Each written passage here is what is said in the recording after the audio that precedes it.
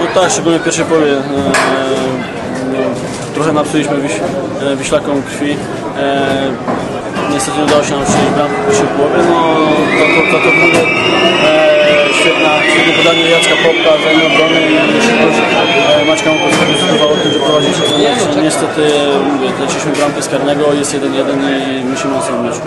E, Dużo zmian w Bełchatowie przed sezonem, a tymczasem w środku pola świetnie rozumiesz się z Kamilem Późniakiem. Jak byś opisał Waszą współpracę? E, No z Kamilem już e, od mojego pobytu w Bełchatowie często grałem e, w młodej klasie, gdzieś tam mówię na treningach, e, zawsze gdzieś ta praca nam się układała. No, miejmy nadzieję, że będzie to funkcjonować coraz lepiej. Nie macie takiego poczucia, że brakuje jeszcze zawodnika ofensywnego z przodu, drugiego napastnika na przykład? No nie, mamy dwóch e, klasowych napastników, e, Dawidek trzeci również, to jest skrzydłowy, podwieszony gra. E, Mamy bardzo, bardzo silny atak, dlatego też e, potrafimy zdobywać bramki.